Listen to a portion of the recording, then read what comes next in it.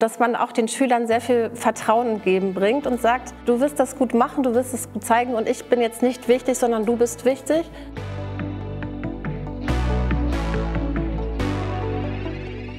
Bei uns ist halt das Besondere, dass die Eltern und die Schüler zusammen zum Gespräch kommen und dass das kompetenzorientiert ist. Also da geht es halt nicht um schulische Leistung und die Mathe-Note ist schlecht und in Englisch ist das und das schiefgegangen, sondern es geht wirklich um die Persönlichkeit und wir gucken, was können die Schüler, was machen sie richtig toll, was ist eigentlich toll an diesem kleinen Menschen, der da vor uns sitzt. Bei uns ist es tatsächlich so, dass wir ähm, das zweimal im Jahr machen. Dann haben wir die ersten beiden Stunden Unterricht, danach ist Unterrichtsschluss und dann beginnen die Schüler-Eltern-Lehrergespräche bis 16 Uhr, immer im 20-Minuten-Takt. Dann gehen die Schüler halt erst nach Hause und kommen dann mit ihren Eltern wieder. Also bei uns ist es so, dass die Schüler erst die äh, Leitung haben, dann kommen die Eltern dran und erzählen ein bisschen was, oder erzählen auch mal, warum bin ich eigentlich stolz auf mein Kind und was macht es toll. Und dann kommen die Lehrkräfte nochmal sie berichten darüber, was Sie Besonderes in diesem Schuljahr geleistet haben oder was Ihnen Spaß gemacht hat. Ähm, sie äh, können das präsentieren in Form eines Plakates oder frei sprechen und ähm, ja, berichten einfach über die Dinge, die gut gelaufen sind. Natürlich äh, reflektieren sie sich und merken auch, okay, an diesen Dingen möchte ich auch noch arbeiten. Und äh, dadurch ähm, haben wir festgestellt, dass viele Schüler einfach aus einer eigenen Motivation bereit waren, an diesen Themen zu arbeiten, weil sie es selber erkannt haben, weil sie es selber formuliert haben und weil sie den Wunsch verspürt haben, da etwas zu verändern. Also das ist ein Prozess, der das ganze Schuljahr sozusagen über ähm, ja, läuft. Das bedeutet, dass die Schülerinnen und Schüler von Anfang an, also von Beginn des Schuljahres, ähm, Handwerkzeug von uns äh, an die Hand bekommen, Rüstzeug, dass sie dieses Gespräch durchführen können. Das heißt, wir schulen sie, wir, wir geben ihnen die Möglichkeit, äh, Ideen zu finden. Das heißt, es ist die ganze Zeit irgendwie immer präsent und das ist ein fester Bestandteil, dass man sich sozusagen immer einmal die Woche damit auf jeden Fall ganz intensiv beschäftigen kann. Man muss es wirklich nicht als ähm, einzelne Termine betrachten, auf die sich die Schüler dann punktuell vorbereiten, sondern das ist eine Kultur, die sozusagen fortlaufend an der Schule gepflegt werden sollte.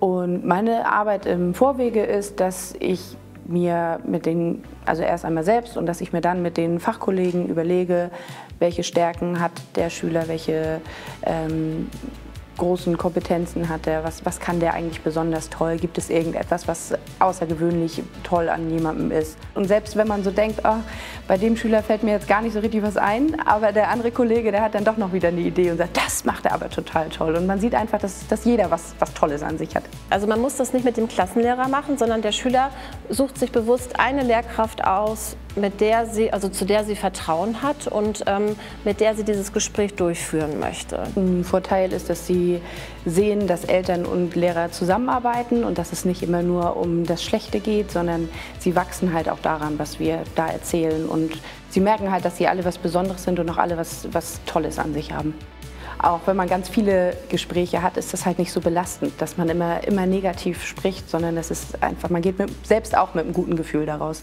Also es hat einen sehr familiären Charakter. Ne? Also es sind die Eltern dabei, noch ein weitere, also Großeltern könnte man da hinzuziehen oder ein Großelternteil, Freunde kann man mitnehmen.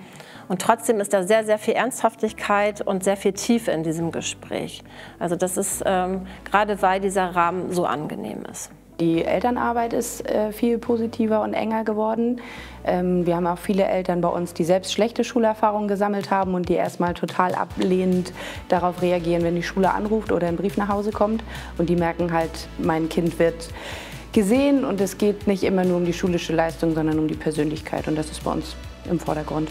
Auf Seiten der Eltern ist es einfach so, dass ähm, diese Hemmschwelle in die Schule zu gehen ähm, genommen wird, weil sie wissen, ähm, Sie bekommen eine persönliche Einladung von den Schülern. Da wird auch schon gesagt, ich möchte gerne erzählen, was ich alles Gutes geleistet habe, was meine Stärken sind und ich freue mich, wenn du da bist. Das ist eine ganz andere Bereitschaft, in die Schule zu kommen, weil sie genau wissen, es äh, dreht sich nicht um die Schwächen des Schülers, sondern in dem Augenblick ähm, wird über die Stärken ihres Kindes berichtet. Und das ist ein ganz, ganz wichtiger Punkt, äh, der dazu geführt hat, dass wirklich, wenn die Eltern eingeladen worden sind, alle da waren. Wir kriegen unglaublich viele Eltern in die Schule dadurch. Das war bei Elternsprechtagen halt vorher schwierig. Ähm, viele denn, sind einfach nicht gekommen. Ähm, aber bei uns haben wir wirklich eine ganz hohe Prozentzahl, die da kommen.